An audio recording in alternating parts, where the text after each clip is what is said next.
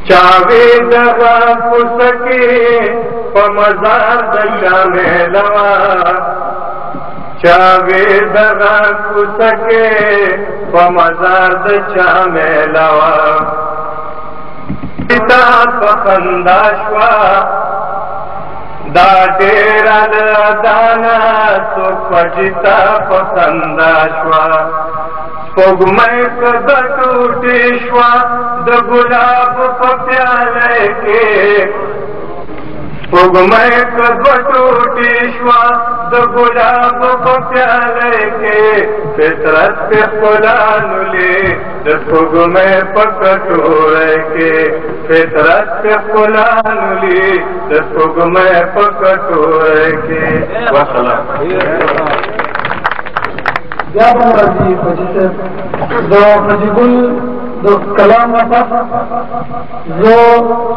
ډېر خوږ مشر فقیر صبا ملنګ صبا سره د ګلونو سره د ډوډۍ د ګلونو خالق پروفیسور انور علي جان انور صاحب ته خواست کوم چې راشي او خپل کلام پیش پروفیسور انور علي جان انور صاحب